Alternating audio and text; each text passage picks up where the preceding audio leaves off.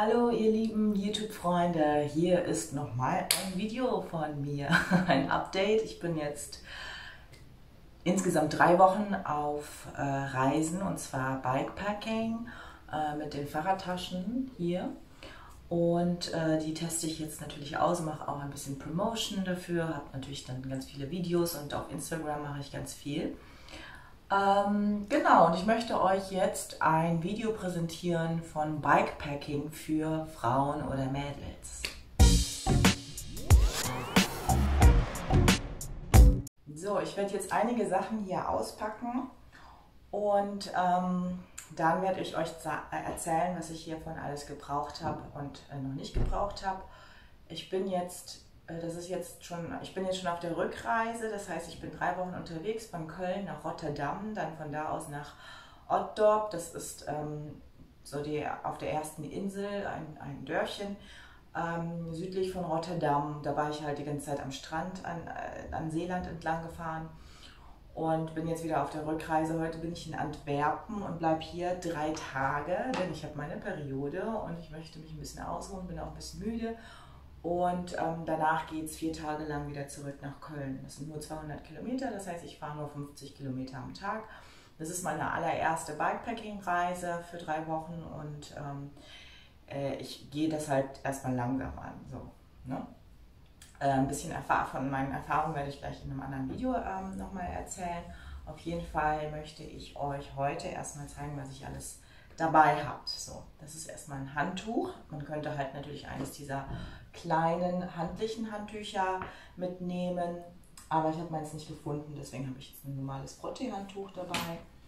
So, dann habe ich ja erstmal Klamotten. Ich habe definitiv viel zu viele Klamotten dabei, aber ich kann euch sagen, was nützlich ist, ist halt, habe ich auch schon vorher äh, mich erkundigt oder man kennt es ja, diese Zwiebelschichten. Ne? Das heißt, ich habe ähm, mehrere äh, Hosen äh, und ähm, Unterteile und Oberteile, die halt, die man übereinander anziehen kann. Ähm, ich ordne das gleich und dann äh, sage ich euch, wie viel ich wovon habe. Ähm, also das sind erstmal die Klamotten, ne? die sind äh, definitiv zu viel. Die packe ich aber erstmal alle aus. So, dann habe ich ein Buch mitgenommen. Witzigerweise ist das über Tulpen. Ich habe da jetzt erst gerade das erste Kapitel angefangen und ich bin schon zwei Wochen unterwegs. Das heißt, so viel habe ich nicht gelesen, muss aber auch zugeben, ich bin halt mehr so der Instagram-Typ, ne? Deswegen, also ich verbringe dann halt viel Zeit da drauf. Guck mir jetzt im Moment selber nichts an, weil ich halt selber ähm, herausbringe, das heißt Content createn, ne? Also Fotos äh, poste und so weiter. Das dauert ja auch manchmal eine Stunde oder eine halbe Stunde. Und ähm, je nachdem, äh, ja, ich will ja dann auch nicht die ganze Zeit vor dem Handy hängen, aber ich höre dann halt Musik oder äh, Audible, das heißt, ähm, habe dann halt auch, äh, man kann sich ja auch Podcasts oder so reinziehen, ne?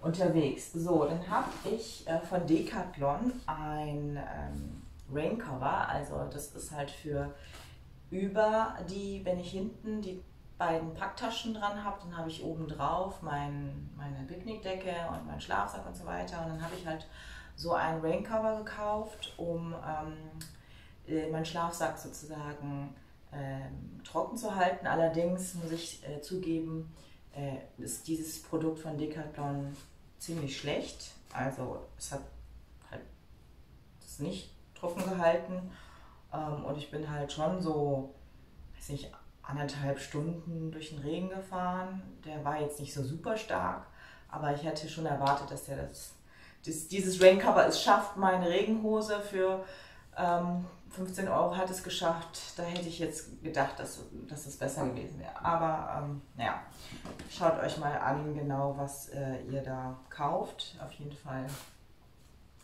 war das hier nicht besonders hilfreich.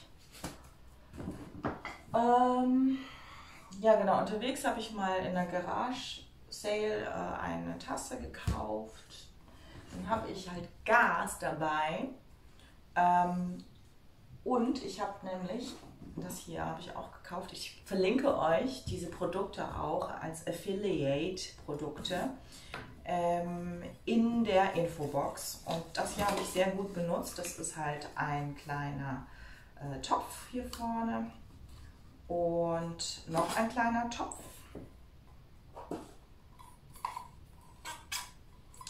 So, und man kann halt diesen kleinen Topf als den Deckel vom großen Topf benutzen. Also wenn man schnell Wasser kochen will oder was aufwärmen möchte, dann ähm, ja, kann man das halt so benutzen. Ich habe nämlich schon äh, geguckt, also ich wollte halt kostengünstig einkaufen auf Amazon und ich habe dann halt auch geguckt, dass äh, ich einen Deckel kriege und dann habe ich gedacht, okay, das ist sehr praktisch, weil man kann ja auch das kleine Teil benutzen, um, weiß ich nicht, noch mehr Wasser aufzukochen. Ich habe hier einen kleinen Beutel voller ähm, Hirse. Das ist halt ähm, mongolische geröstete Hirse. Das gibt es hier nicht. Aber ähm, ja, in Deutschland kann man dann halt Müsli kaufen zum Beispiel. Dann habe ich, äh, also das war mit dabei, eine Tasse. Und darum geht es jetzt eigentlich. Hier dieses Ding, das ist halt so, ich zeige euch das mal ein bisschen hier das hier ist halt so ein Teil, was man da drauf schraubt auf diesen Gas, auf diese Gaskartusche und dann kannst du halt Feuer machen. Und das war halt mit dabei in diesem Deal und es hat ungefähr 25 Euro gekostet. Und ähm, leider hatte ich halt aus Deutschland zwei falsche Kartuschen mitgenommen und ich hatte dann in Rotterdam eine neue Kartusche gekauft. Das war eine Steckkartusche. Und ähm, ich habe halt die ganze Zeit das falsche Ding gekauft. Das heißt, ich hatte dann letzten Endes drei volle Gasflaschen, wusste nicht, was ich damit machen sollte. Und äh, habe die dann halt äh, irgendwo dann bei einem Gasverkäufer, Gaskartuschenverkäufer dann äh, stehen lassen. Ähm, der hatte auch keine solchen Schraubkartuschen. Auf jeden Fall in irgendeinem Laden habe ich das dann doch gefunden für 6 Euro. Also jetzt brauche ich das eigentlich gar nicht so viel. Ähm, denn ich habe in der Zwischenzeit nämlich dieses Ding, das ist ein Holzvergaser, da schreibe ich euch auch den Link dazu, das habe ich mir auch vorher angeschaut in einem äh, Link äh, oder in einem Video. Das ist ein cooles Teil, denn die also ich finde, das macht ja richtig Spaß auch einfach zu kochen, weil man gibt sich ja ganz viel Mühe und äh, mit diesem Gasding ist es natürlich ganz einfach, aber man muss halt auch richtig Feuer machen. Ne? Und das gehört halt irgendwie zu dieser Reise dazu für mich. Und dieses Feuer machen, das ist halt schon so was, hat was Uriges, ne? so was Naturverbundenes. Und ähm, das hat halt total viel Spaß gemacht. Ich habe das auch gut benutzt, ne, wie man sehen kann hier. Und das ist halt äh, Ashtray, also das ist dieses, ähm, wie heißt das? Äh, Asche, ne? Also Asch, da wo die Asche aufgefangen wird. Na, ihr könnt das jetzt gerade nicht sehen. ich lege das mal so hin. Ne? Und dann legt man das hier da drauf. Und ich habe halt extra geguckt, dass ich auch eins nehmen kann, das man verschieben kann. Deswegen auch mit diesem Griff hier dran. Das hier ist äh, zusätzlich dabei gewesen, das habe ich kaum benutzt. Nur als Unterlage, das kann man auch benutzen für unten, um, ähm, wie heißt das, Spiritus, glaube ich, reinzutun oder so ein Gel und damit dann zu kochen, ähm, was ich aber halt so un umständlich fand. Und dann hast du halt hier so ein, das nennt man halt wirklich Holzvergaser, weil der kommt halt aus diesen kleinen Löchern. Ich weiß nicht, ob ihr das sehen könnt, an der Seite. Da seht ihr das ein bisschen hier. Genau, aus diesen kleinen Löchern. Da kommt das Feuer nämlich raus. Und ähm, hier unten habt, seht ihr auch diese Löcher. Äh, da geht die Asche dann nach unten. So, und dann, dann habt ihr halt so viel Platz. Das heißt, ihr müsst dann so ein bisschen kürzeres Holz kaufen, äh, nicht kaufen, aber finden, ne, also brechen. Und dann legt man das dann halt hier rein und dann hat man halt dieses, dieses Teil zum drauflegen. Und dann kannst du halt so drauf kochen. Und das habe ich halt die ganze Zeit gemacht, habe ich auch am Strand gemacht. Ähm, hat voll Bock gemacht, ja. so, ich muss mich mal ein bisschen beeilen, weil das äh, Video soll nicht zu lang werden.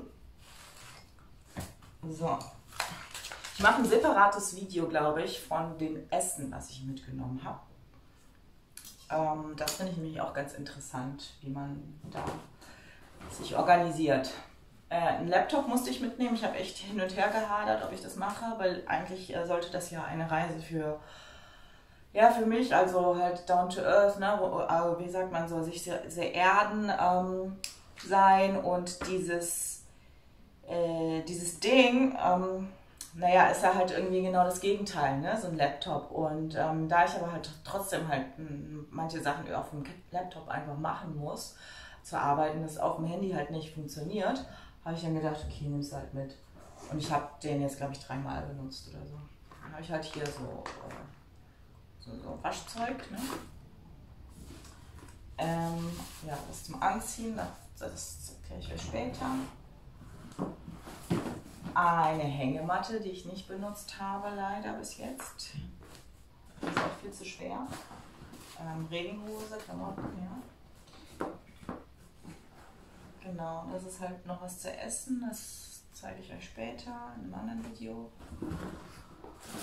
So, dann habe ich halt hier so Seile mitgenommen. Ne, ich habe mir halt gedacht, so notfalls kann ich dann damit irgendwie was zusammenpacken, also auf meinem Fahrrad.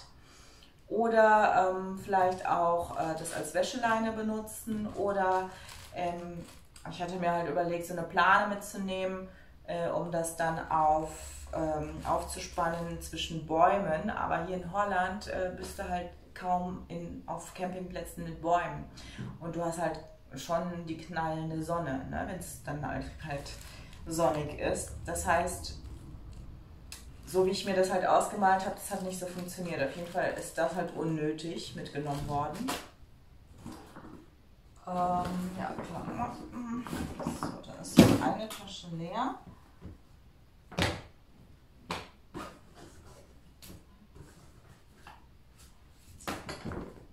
Klamotten. Klamotten. Genau, dann halt ähm, habe ich so ein Universal, wie heißt das denn? Ähm, ja, so halt so ein Toolkit oder so nennt man das, glaube ich. Ne? Das ist halt extra fürs Fahrradfahren, zum Fahrrad. Also fürs Fahrrad geeignet. Und dann hast du halt diese ganzen ähm, Imbus-Teile. Das ist gerade so ein bisschen knallig mit der Sonne. Diese ganzen Imbus-Dinger da.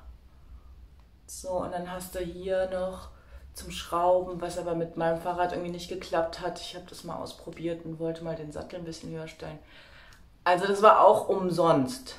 Da denke ich, äh, wäre es schlauer einfach für jemanden wie mich, das ist, ich bin ja eine Anfängerin, ähm, wäre es halt schlauer, einfach in so einen Fahrradladen zu gehen und sich da helfen zu lassen, auch wenn die da manchmal nicht so ganz hilfreich sein können, weil ähm, es dann natürlich so ist, dass äh, man da halt Wartelisten hat und so weiter, weil äh, ja in größeren Städten zum Beispiel äh, die Nachfrage sehr groß ist.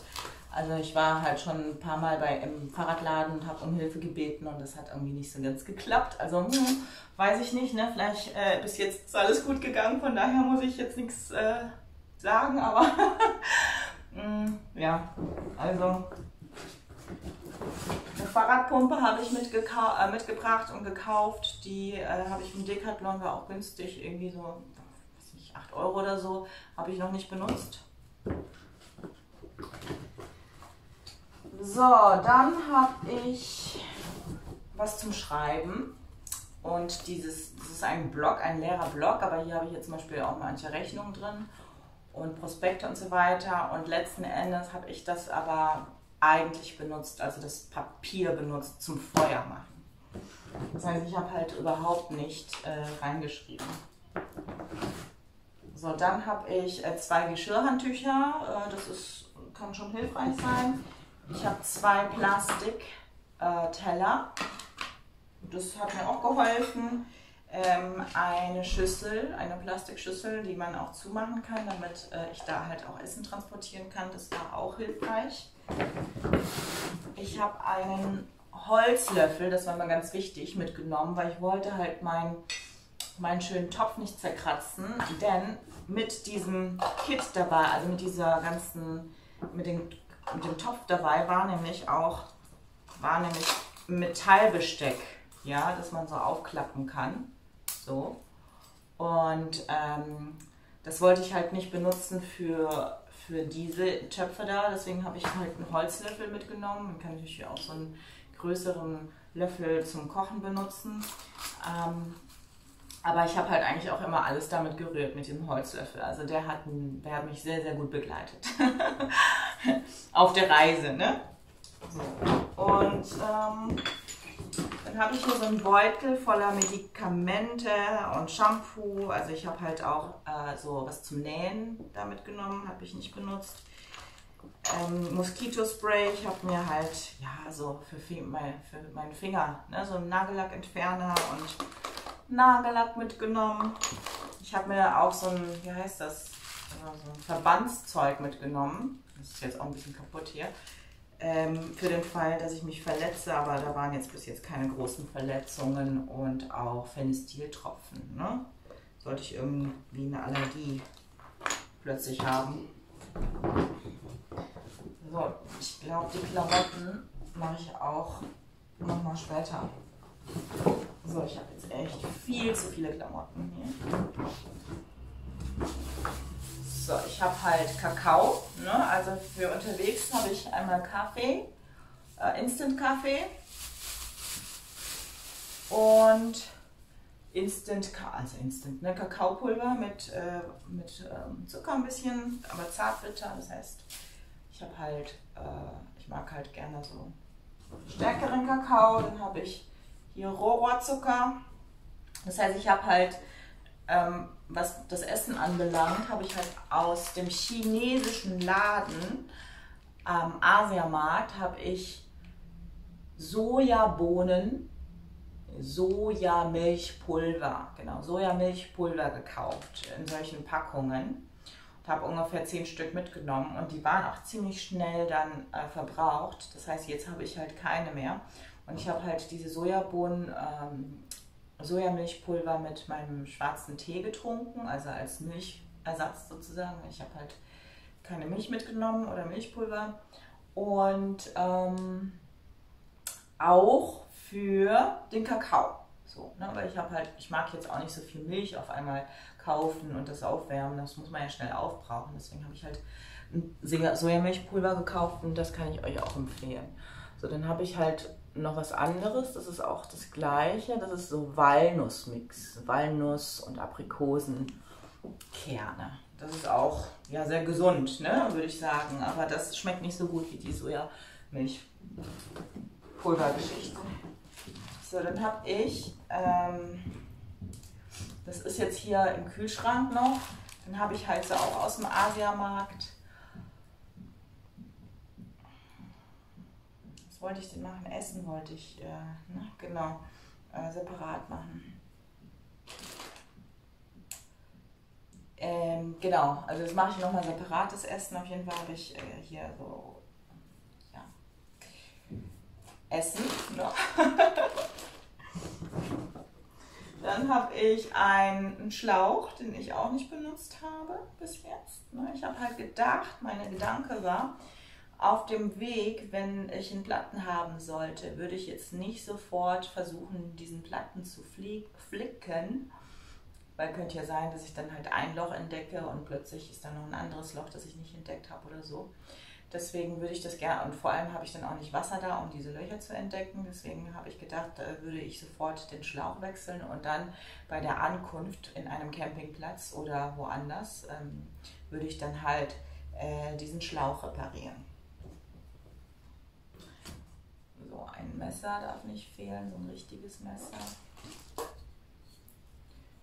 Essen, Klamotten, Essen auch. Und nochmal Klamotten. Unglaublich, viele Klamotten. Also voll nötig. So, das war's hier mit. Genau, also Kosmetika für Frauen. Man sollte halt natürlich nicht vergessen, Tampons oder Binden mitzunehmen. Ich habe da dann auch noch mal so ähm, hier so ein, was ist das, so ein Balsam, wie nennt man das? Melkfett, ne? Von der Ringelblume habe ich dann mitgenommen. Ähm, wofür habe ich das benutzt? Also ich hatte, glaube ich, die ersten paar Tage ziemlich raue Hände. Also eine Handcreme habe ich auch dabei. Ne? Schminksachen habe ich auch dabei. Ähm, genau, ganz normale Tagescreme, also halt das, was man so braucht. Ne? So einmal habe ich mich geschminkt, als ich in Rotterdam war. Das war es dann auch. Ähm, genau, dann zeige ich euch mal kurz.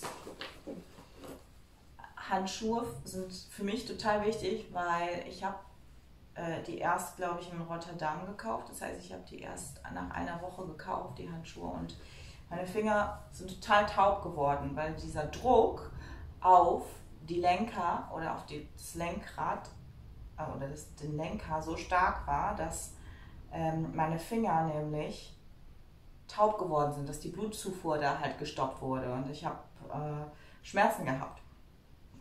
Und diese Polster mindern das so ein bisschen ab und äh, also lassen, lassen es mehr zu, dass die Blutzufuhr halt zu den Fingern noch weiter weiterläuft. So deswegen, also ich würde euch halt empfehlen, so dickere Handschuhe, das sind jetzt halt Lederhandschuhe auf der einen Seite und dann, ich glaube, Baumwolle mit Löchern auf der anderen Seite. So, und ähm, ich finde die auch ziemlich schick. Ne? Ähm, deswegen ja, habe ich für 20 Euro gekauft. Mal gucken, ob ich die irgendwo finde. Vielleicht kann ich euch das verlinken. Ganz wichtig für mich war, eine Powerbank mitzunehmen, weil mein Akku für mein Handy, äh, was ich gebraucht habe, jede, jede Zeit für mein Navigationssystem, das, dafür habe ich BikeMap benutzt. Ähm, das Navi BikeMap Map, also das ist eine App. Und ähm, naja, das zieht halt viel Strom, weil die halt immer diesen Standort, diese Standortbestimmung machen müssen. Und ähm, naja, so nach zwei Stunden war der Akku schon quasi leer. Und dann musste ich halt unterwegs beim Fahren direkt aufladen. Deswegen muss ich auch immer gucken, dass das Ding halt nicht zwar voll ist, aber halt genug Akku hatte. Und hier äh, in der Lenkertasche vorne drin haben mit den entsprechenden Dann habe ich hier vorne halt auch so kleine Sonnentuben Sonnencreme drin. Ansonsten habe ich halt hier ein Feuerzeug noch ne, zum Feuer machen. Und äh, Kopfhörer habe ich auch immer vorne. Da habe ich jetzt kleine Kopfhörer. Meistens habe ich die großen dabei. Jetzt sehe ich die gerade nicht. Und ähm, vorne nochmal so ein Kit, ne? So ein Flipzeug-Kit. Und dann habe ich noch ähm, ein kleines Taschenmesser, wovon ich das Messer benutzt habe. Äh, meistens, aber ich habe ja auch dieses andere Küchenmesser dabei. Von daher, mh, mm, sonst habe ich das eigentlich nicht benutzt und das ist auch nicht so hilfreich gewesen irgendwie. Ich habe da mal versucht, irgendwie Holz zu brechen oder zu sägen. Das hat gar nicht geklappt, ganz zu vergessen eigentlich. Würde ich jetzt so nicht weiterempfehlen eigentlich. Da würde ich, glaube ich, was anderes empfehlen. Und ganz wichtig auch für meine Taschen ähm, als Ersatz ähm, für sollte mal eines dieser Nieten hier abfallen, ja, von der Fahrradtasche habe ich halt von Ortlieb ähm, einen Universalschraubensatz. Ich, ich, ich mache euch den Link da auch rein. Und dann kann man nämlich das wieder halt ranschrauben, ohne großartig da ähm, ja halt irgendwie so Werkzeug zu benutzen. Ne? Ähm, ja, und halt diese Lenkertasche ne, vorne, das ist eine coole Tasche, die habe ich auch auf Amazon gekauft. Die kann man halt auch so an den Bauch binden, was ich bis jetzt nicht gemacht habe. Also so quasi, weil das sieht mir zu touristisch aus einfach. Das ist, da, da fühle ich mich halt wieder, wieder in, in den 80er Jahren so. Da habe ich keinen Bock drauf. Dann habe ich eine Sonnenbrille. Für mich auch wichtig. Und mein Zelt, ganz wichtig. Ähm, das ist ein Zelt für ein bis zwei Personen. Ich habe das gut benutzt für eine Person. Das heißt, ein kleineres Zelt wäre für mich, glaube ich, ein bisschen unentspannter gewesen. Also das fand ich schon ganz gut und ähm, nicht zu groß, nicht zu klein. Und dann habe ich aber halt auch noch so ein so eine Plane, so einen Boden, Zeltboden äh, gekauft, weil mein Zelt hat halt keinen Boden, der wasserdicht ist. So, deswegen muss man sich halt genau überlegen. Ich habe halt ein relativ preiswertes Zelt neu gekauft für ungefähr 65 Euro plus 20 Euro äh, Zeltboden. Das ist jetzt auch nicht die perfekte Lösung, weil das ist nicht abgestimmt von der Größe her. Das heißt, am Rand des Zeltes äh, war es manchmal auch feucht. Und ähm, wenn ihr dann eine teurere oder eine bessere Lösung habt, wenn ihr genug Geld habt, beziehungsweise Geld ausgeben wollt, ja, für 200 Euro oder sowas, dann kauft euch ein vernünftiges Zelt. Aber für mich äh, ist das jetzt eigentlich auch gut genug und ich glaube, das werde ich auch so halt für die nächsten Reisen gut benutzen können, weil das trocknet dann halt auch ziemlich schnell und dann ist halt das ähm, nicht, muss ich das nicht äh, nass einpacken oder so. So, dann habe ich natürlich noch meinen Helm dabei zwei Wasserflaschen, ganz wichtig. Ich habe hier auch eine Halterung am, am Fahrrad und eine Wasserflasche habe ich direkt an die, an die Lenkertasche dran vorne gemacht. Das passt da nämlich auch rein. Habe ich extra geguckt, dass ich so eine Tasche habe, wo das Wasser, äh, Wasser da reinpasst. Dann habe ich eine Picknickdecke gucke mal, ob ich die auch finde im Internet und dann verlinke ich euch die. Mit der bin ich mega zufrieden. Die finde ich super schön. Ähm, auch für die Stadt, also um in den Park zu gehen und auch total praktisch, weil das halt noch so eine Tasche hat. Ne? Da kann man halt auch nochmal was reintun. Dann kann man sich das drumhängen und hier noch was reintun. Ähm, und dann habe ich das manchmal im Zelt eingepackt, manchmal habe ich das mit zum Strand genommen. Also diese Picknickdecke ist fantastisch und da bleibt jetzt irgendwie auch kaum Sand dran. Ne? Es gibt ja auch so oben Picknickdecken mit so Flausen und so, das ähm, finde ich jetzt nicht so toll. Dann habe ich da, wie ihr seht, diese lilane Isomatte und so eine ganz oldschool, richtig dicke, dicken Schlafsack. Ne? Weil das hier, ähm, da habe ich halt kurz überlegt, ob ich einen dünnen kleinen Schlafsack mitnehme, aber ich bin so eine Frostbeule, weshalb ich auch diese altmodische Isomatte mitgenommen habe, weil ähm, diese ganzen Luftmatratzen, Isomatten oder Luftmatratzen, äh, Luftmatratzen, die man halt so ganz klein machen kann, da habe ich halt immer so ein bisschen Schiss, dass es von unten halt zu kalt ist und dann friere ich halt. Und ich habe halt auch jetzt auf der Reise schon ein paar Mal gefroren. Da habe ich mich halt total warm angezogen und trotzdem äh, gefroren. Ja, also von daher war das schon eine gute Entscheidung, dass ich äh, eine, wenn es ein bisschen mehr Platz einnimmt, einen dicken Schlafsack und so eine fette Isomatte mitgenommen habe. Gut, ich glaube, das war's. Klamotten mache ich ja separat. Ansonsten habe ich halt auch immer so eine Tüte da, die ich dann halt mit oben drauf mache. Achso, und zwei Schlösser mitgenommen. Wobei ähm, ich glaube auch ein Schloss halt ausgereicht hat. Und äh, hier diese, diese Dinger, die haben halt richtig geholfen, ne, um Sachen zu befestigen. Also ich habe hier halt, wie gesagt, dieses Seil nicht benutzt, aber das, was man halt so, was elastisch ist, das hier ähm, war, davon habe ich zwei Stück.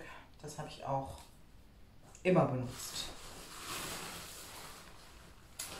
Ja, ansonsten halt äh, Lichter nicht vergessen. Ne? So Vorderlicht, Masken habe ich natürlich auch immer dabei. Vorderlicht ja. und Hinterlicht habe ich noch ein, achso, ich habe noch so, äh, wie heißt das, so Selbsttest mitgenommen und noch eine Brille, Schwimmbrille und eine Stirnlampe, die ich unbedingt noch benutzt haben wollte. Weiß nicht, also ich habe so nachts ein bisschen gelesen damit, aber eigentlich, ich habe mir das so ein bisschen romantischer vorgestellt, dass ich dann halt ganz alleine im Wald äh, zelte, ohne Menschen und so. Und äh, nee, also ich hatte da jetzt keinen Bock drauf und vor allem gab es da jetzt auch in Holland, wo ich halt unterwegs war und auch auf dem Weg dahin. Das ist ja sehr ge wie sagt man, ähm, dicht be bevölkert, ne? Da äh, kannst du da jetzt nicht mal eben im Wald irgendwie da campieren, ne? Wildcampen. Ja, aber vielleicht mal für die Zukunft, ne? So, jetzt habe ich hier alles schön ausgelegt. Ähm, Ein Video äh, für die Klamotten mache ich, glaube ich, tatsächlich separat. Das verlinke ich euch dann. Und ein Video für das Essen, das mache ich auch separat. Okay, dann vielen Dank fürs Zuschauen. Ansonsten, ja, schreibt mir gerne in die Kommentare, was ihr noch für essentiell wichtig haltet, um das mitzunehmen. Ah, eine Sache, die ich ganz vergessen habe, die nämlich in Sichtweite liegt, aber nicht für euch, ist hier Tape. Ne? Das ist auch sehr hilfreich gewesen.